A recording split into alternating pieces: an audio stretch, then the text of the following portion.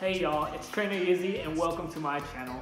Um, in my videos, I open up random all sorts of Pokemon cards, usually hidden fates at the moment. But this all started when I stumbled upon random PokeTubers that open vintage set Pokemon cards, and it reminded me of my childhood.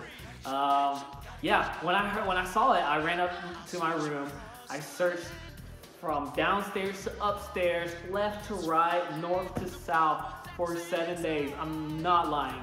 I searched for a whole week to look for that zip up green Garfield binder that had all my rare cards. It had everything from base set to jungle, fossil, Neo Destiny, Team Rocket, all of the Neo series. It had Gym Heroes.